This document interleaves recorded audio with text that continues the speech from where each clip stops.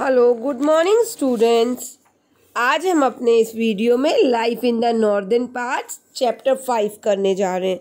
बच्चों, इस चैप्टर में हमने सारे स्टेट्स करे थे। पंजाब, हरियाणा, उत्तर प्रदेश, बिहार वेस्ट बंगाल असम दिल्ली इनके हमने यहाँ पे क्या पढ़ा था? कल्चर पढ़ा था ड्रेसेस पढ़ी थी इन स्टेट्स की इंडस्ट्रीज़ क्रॉप्स ऑक्यूपेशंस पढ़े थे बेटा।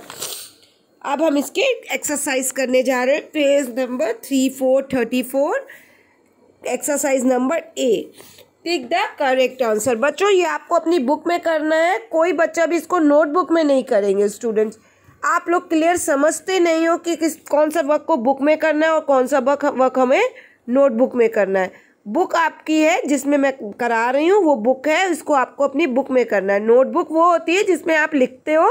उसको आप अपनी नोटबुक में करोगे जब मैं इंस्ट्रक्शन दूँगी okay exercise A tick the correct answer. Dash is a popular dance, number one पे है। Dash is a popular dance from, form of man of Punjab. तो आपको ऑप्शन दिए बीहू, बांग, भांगड़ा एंड गिद्दा। तो बच्चों, आपको पता होगा कि पंजाब का डांस मैंने आपके साथ एक्सप्लेन किया था कि पंजाब में कौन कौन सा डांस होता है? मेंस और वुमेंस क्या करते हैं? कौन सा डांस करते हैं? ओके मैंने आपको बताया था, Bhangra is a popular dance form of man while Giddha is a dance form of women तो यहाँ पे हमने क्लियर कर लिया कि यहाँ क्या आंसर होगा? भांगड़ा। अगर मैन की जगह वुमेन होता तो यहाँ पे गिद्दा भी होता। तो फ़र्स्ट का आंसर क्या है? भांगड़ा। तो आप इसको भांगड़े पे टिक कर लीजिए। Bhangra is a popular dance form of man of Punjab okay student the biggest car factory in India the Maruti Udyog is located इन कहाँ लोकेटेड है? मारुति वाला बच्चों, हमने आपको इसके साथ बताया था कि क्या, हरियाणा में क्या क्या है? Factory of in India the Maruti Udyog other industries कहाँ पे है? Include information technology textile cycles tractors tyre sugar paper glass and brassware तो आपको यहाँ पे हमने क्या एक चीज़ बताई थी?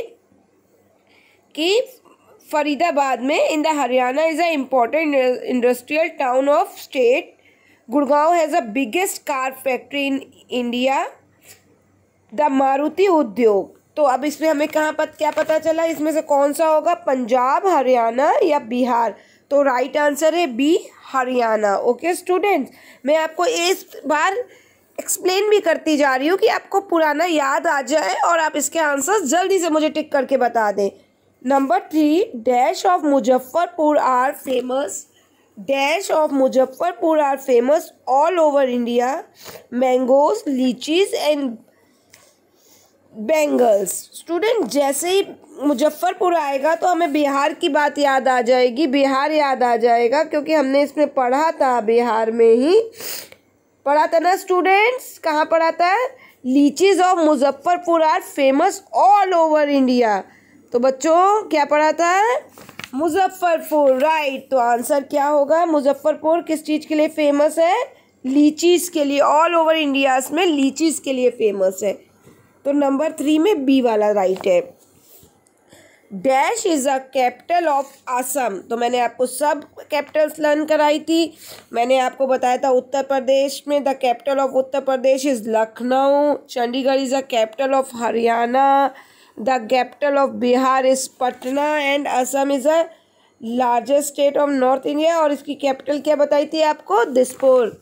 तो यहाँ पे आंसर क्या होगा? पटना नहीं होगा। चंडीगढ़ नहीं होगा बट सी वाला दिसपुर होगा okay Dispur is a capital of Assam number five and last है आपका. Dash is a birth place of tenth guru of Sikh तो बच्चों टेंथ गुरु ऑफ़ सिख के बारे में कौन कौन से सिट दिए स्टेट नालंदा, जालंधर एंड पटना. तो बच्चों, क्या होगा? हमने यहाँ पटना में पढ़ा था Patna is a birth place of guru Gobind Singh the tenth guru of the Sikhs पढ़ा था ना बच्चों, हमने page number three one thirty one जब बिहार पढ़ा था ट्वेंटी टू के वीडियोस में ट्वेंटी टू अगस्त में तो हमने क्या पढ़ा था? Patna is a birth place of guru Gobind Singh the tenth guru of the Sikhs तो राइट आंसर क्या होगा यहाँ पे? ए नालंदा नहीं होगा बी जालंधर नहीं होगा C answer is right Patna. तो स्टूडेंट्स यहाँ पे हमारे tick the correct answer finish होते हैं। इनको हमारा असाइनमेंट यही है कि इनको हम अपनी बुक में करेंगे और फिर मुझे सेंड करेंगे ओके गुड बाय स्टूडेंट्स